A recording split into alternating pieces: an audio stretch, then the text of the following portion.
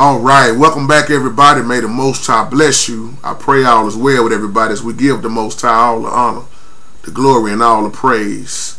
For the word of the Most High is quick and powerful, and it's sharper, and I mean sharper than any two-edged sword you can think about.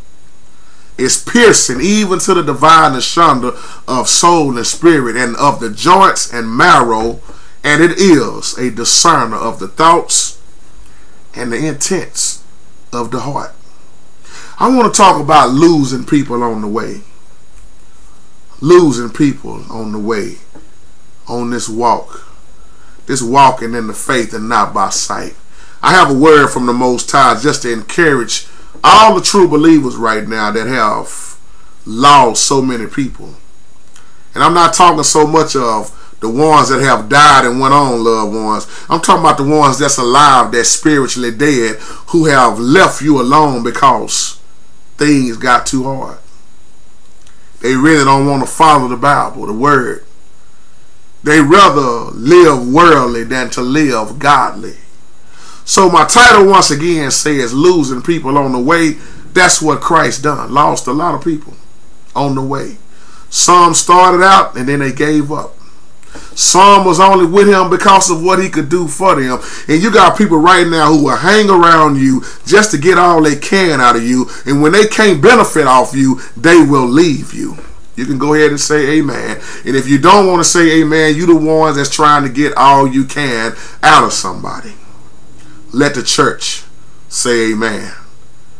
So when you think about following our Savior, how many people do you lose? Mostly family, friends, homeboys and homegirls, some folks that we should have left alone in the first place. But sometimes this road seemed very lonely because it seemed like I'm just in it by myself. You just in it by yourself. But we know that the Father is right there. It's right there. But when the Father remains silent sometime, it, it gets a little bit hard, don't it?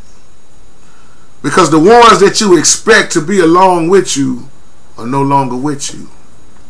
So you got to hold your head up and, and stay in this race. And no matter what you're going through, your mind is made up that I'm going to stay in it. The things that we all have gave up for the Father. The people that we have left alone. It was a blessing. I'm talking about the ones that we needed to leave alone.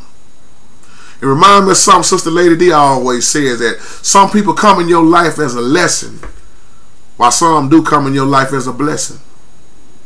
So I'm taking a good look at who I'm hanging around right now. I'm taking a good look at family. I'm taking a real good look at church folk. I'm taking a look at everybody. I'm discerning. I'm watching and I'm looking at the heart. And I'm really seeing now who's really going to follow this word. Because following this word don't feel too good a lot of times.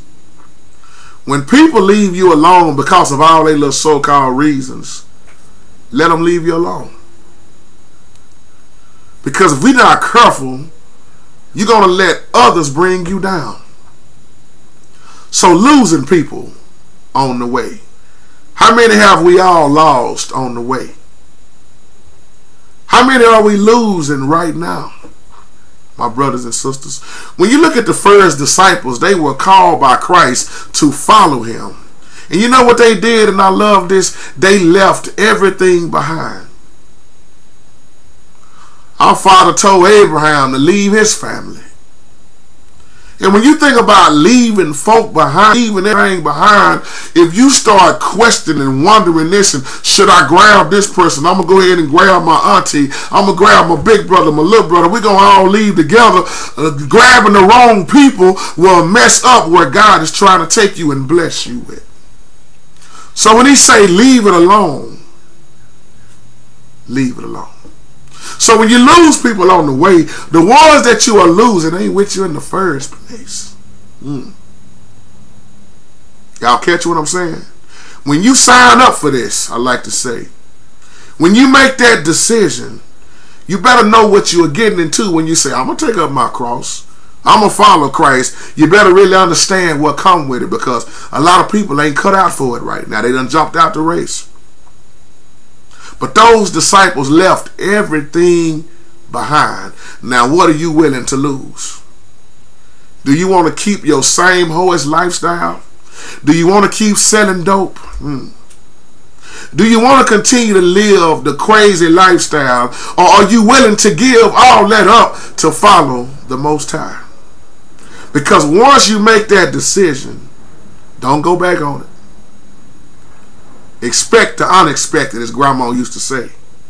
See, many people, many people preaching this, this, this prosperity gospel now, and this, this feeling good, and, and sow a seed of this, and to pump you up with this, pump you up with that. But I'm not here to talk about no prosperity right now, because if you're not talking about your soul prospering, you ain't talking about prosperity, prosperity in all areas of your life. You ain't talking about prosperity no way. You're talking about worldly prosperity, which don't have nothing to do with getting in the kingdom.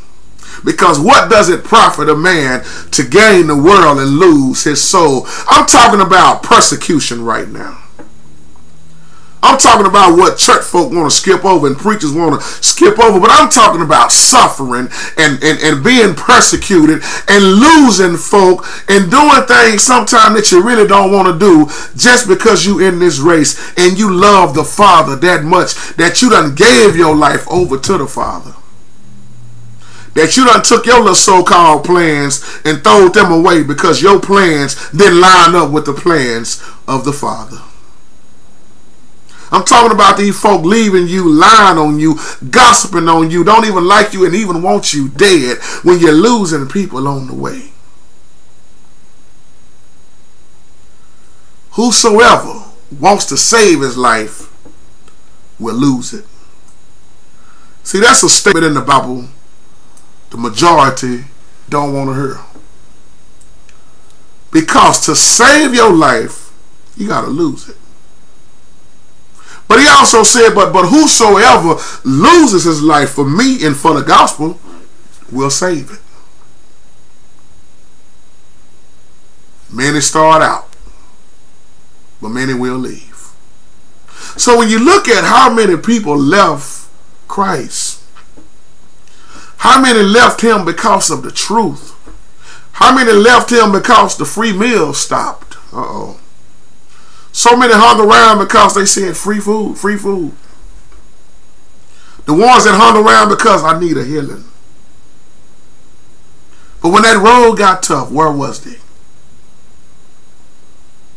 Expect to lose your brothers, your sisters, might even be your own mama might be your daddy, your best friend. You can't let other people mess up your blessings. You can't let other people stop you from moving forward.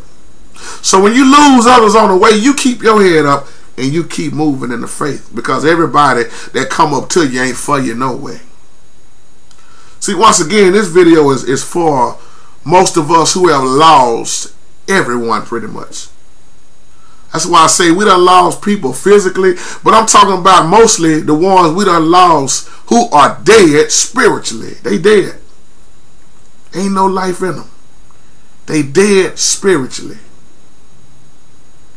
I'm reminded of, of, of, something that our Savior was saying in John, 1 John 2 and 19 because he said they went out from us, but they were not really of us. For if they had been of us, they would have, they, they would have remained with us. But they went out. So they would be shown that they were not of us. So the ones that leave you, they wasn't with you. So I'm about to make a lot of church folks mad with this because everybody is starting out in the church. But everybody ain't starting out in the body. Somebody catch that later on. A lot of people that you see singing and preaching and shouting and dancing and speaking in tongues and laying hands and doing everything that you see, don't mean that they of of of the Most High. We better get a great understanding on it. It's a lot of churches that Satan have set up. It's a lot of preachers that's under Satan's authority. They preaching Satan's message. When our Savior got hit with his hardest times, many people left him. That's why I say some people are only with you if they can benefit off you. They can see what they can get out of you. And when they can't get nothing else out of you, they will reject you. They will leave you. They will talk bad about you and they would even want you dead. You ever notice how our Savior was never really concerned about a huge crowd? Huge crowds would follow him. But really, did he tell a lot of huge crowds to follow him? Or was a lot of people just really in the crowds because they wanted to be fed? But how many wanted to be spiritually fed? Spiritually fed. Because one thing about our Savior, he knew what was in the crowd. And he knew how the hearts were. And it was also religious folks, Pharisees in those crowds. When you look at John 6, and you start getting around verse 66, when you start looking at what, what our Savior was saying, he was giving the words of eternal life. It didn't feel too good to a lot of them disciples. And let me let me give you a news flash. It was way more than 12 disciples. And the rest of them, they took off. Jesus started telling them about hard times and having faith. And you know what happened? Some of them didn't like what he was saying. They started murmuring. They started complaining. They started realizing, hey, man, I gave up my life for this. Now, let me go back to what I was doing. Because when our Savior said, you cannot come to me unless the Father makes you want to come. Uh-oh. Let me rephrase that. Because he said, if I be lifted up, I'll draw all men. See, that the Father don't make us do nothing. Let, let me correct myself on that. Because our Father didn't create robots. He gave us free will. So he don't make you do nothing. So it's going to be up to you to make that decision if I'm going to follow or not. Paul had a young man leave him and said, I'm going back to the world where things was a little bit more simple at because he saw what Paul was going through. So when people look at you as an example and how disrespected you get, how you will get beat on, lied on, talked about, mistreated, they'll think twice about being in this race. Y'all, those disciples I'm talking about in John 6, they turned their back on Jesus. They turned their back. When he told them those things, they turned their back on him. They quit following him. But you know what he said? After that, he asked his 12 if they was going to leave him. But old Simon Peter, he said, you know what? There's no one else that we can go to. Your words gave eternal life. Simon Peter say, we have faith in you. I'm talking about the same Peter that denied him.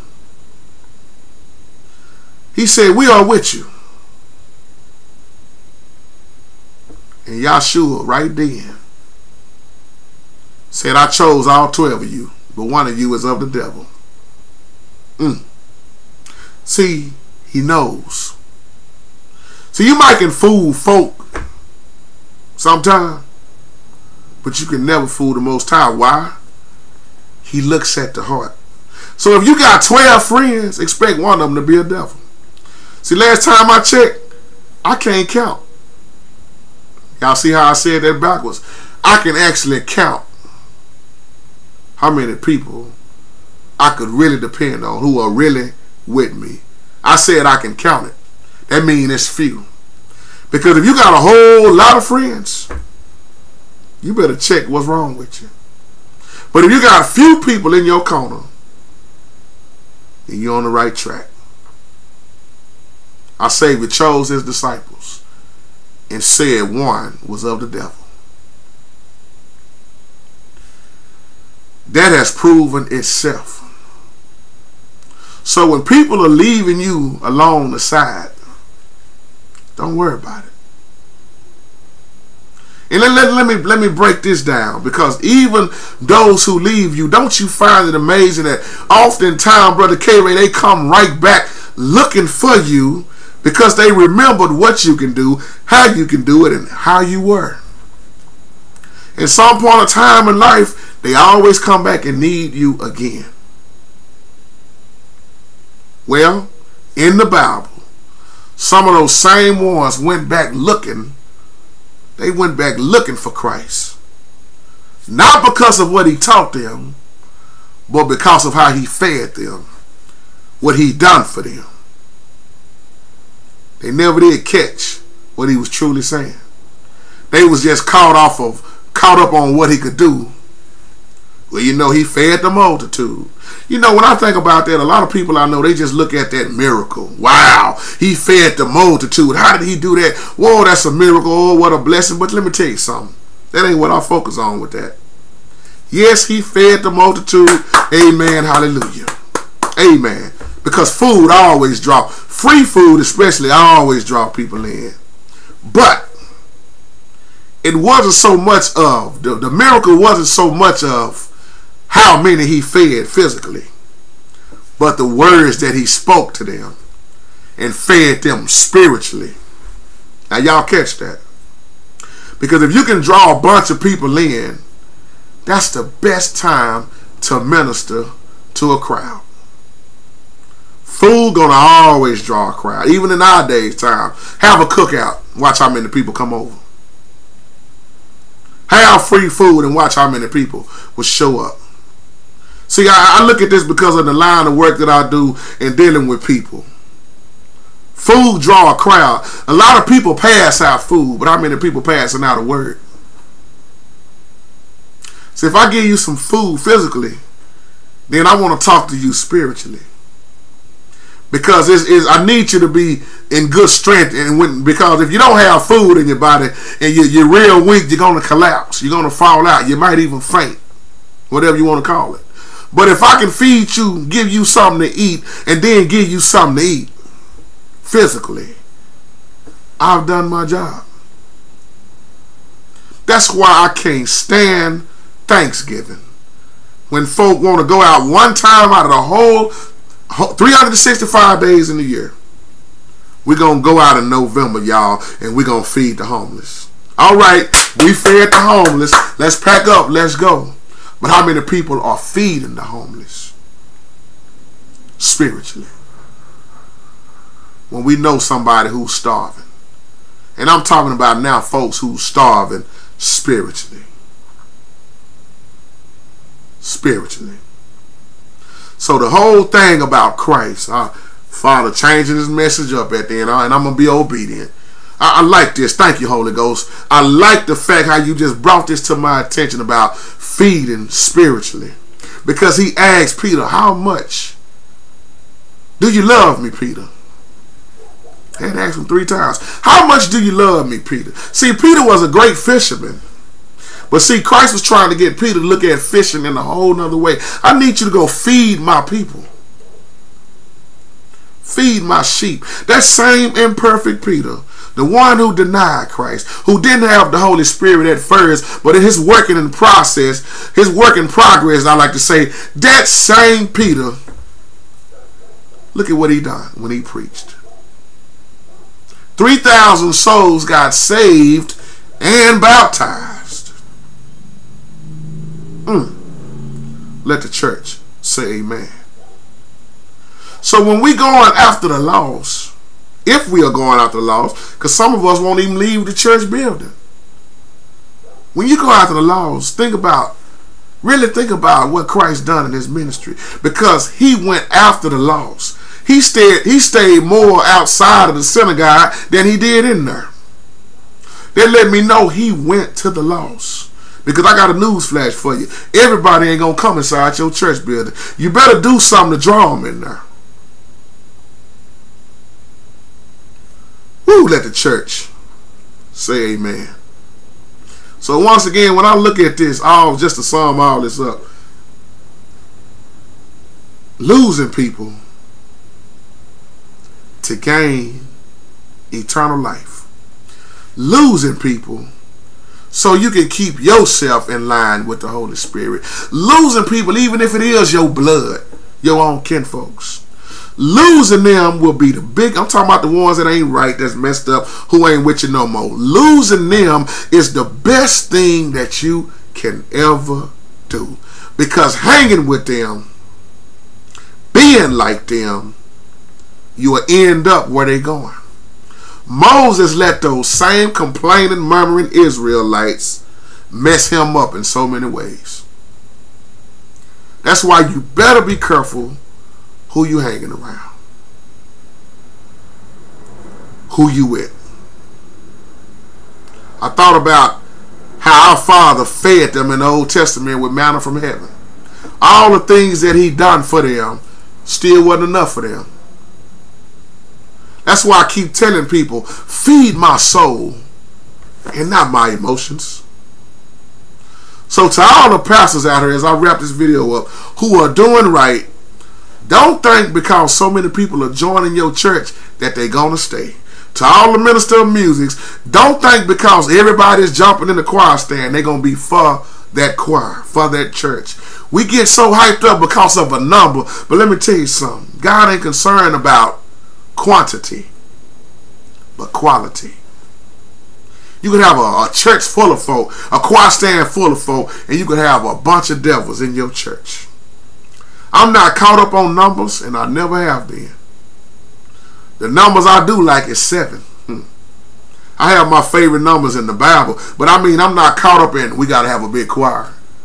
We got to have a big this, we got to have a big that. You know why? Because the bigger the things are, the worse they get. The harder they get. The more you got to deal with. But if you got bigger, you got a bigger church and bigger things going on, amen. I'm not hating on nobody. Y'all know I'm not a hater. I'm a congratulator. So when I looked at when I looked at how he fed them, and then I look at what what what what God was really showing them, not only can I feed you physically, but if you follow me spiritually, you will be spiritually fed the rest of your life. Just like Jesus told that woman at the well. You would never thirst again. He wasn't talking about regular water. But look at what Jesus did. Went toward her. If you don't spark up a conversation with the lost, if you don't never get outside of your building, stop talking about we gonna grow. Because you know what your growing is? The same folks that's in there, same messed up folks who ain't trying to get no better. Everybody is not in the race for the right reason. And to all of us who are doing outreach, keep in mind the majority of Jesus' ministry, once again, he was going after the lost, not going away from them. We keep turning people away, but our Savior went their way. So y'all, that's my time. If we're going to pray, why worry? If you're going to worry, why pray? I pray that y'all have a blessed day and uh, yeah, we did have another earthquake, um, but we all right. We all right, my brother. So we we have an earthquake every day now. But you know what? I'm not gonna like I just said. If I'm gonna pray, why worry? And if I'm gonna worry, why pray? Because if I if I was to start worrying, my prayer would be in vain. Worrying is a lack of faith. So I don't want to walk around talking about I got little faith like a lot of people I know do. I got huge faith. I love you. Y'all take care. This is from the heart. And may the Most High bless you and keep you in perfect peace. Peace out, y'all.